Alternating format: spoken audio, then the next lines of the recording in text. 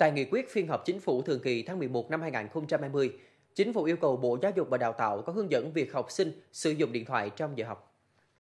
Chính phủ yêu cầu Bộ Giáo dục và Đào tạo chủ trì phối hợp với Bộ Thông tin và Truyền thông và các địa phương hướng dẫn phù hợp việc sử dụng điện thoại di động và các thiết bị công nghệ phục vụ học tập với học sinh đảm bảo sử dụng đúng mục đích, hiệu quả thiết thực. Trước đó, trong điều lệ trường trung học cơ sở và trung học phổ thông và trường phổ thông có nhiều cấp học do Bộ Giáo dục Đào tạo ban hành, theo thông tư số 32, thay vì cấm hoàn toàn học sinh sử dụng điện thoại trong giờ học, thì học sinh sẽ chỉ không được sử dụng điện thoại và thiết bị khác trong giờ học khi đang học trên lớp và không phục vụ cho việc học tập và không được giáo viên cho phép.